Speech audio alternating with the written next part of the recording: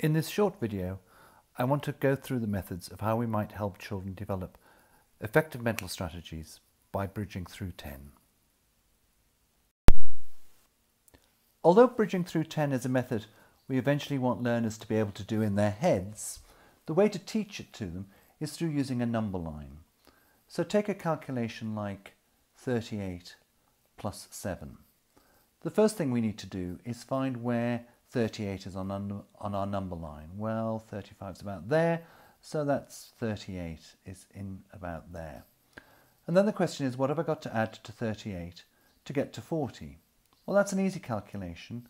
Children should have been practicing this and should know, without having to count on in ones, that they need to add 2 to 38 to make 40.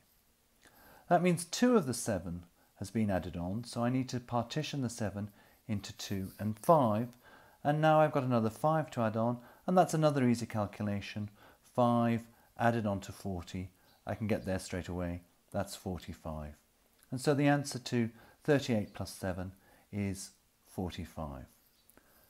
It's worth having a conversation with the children that although this may feel more awkward at first than counting on in ones, in the long term it's much, much quicker.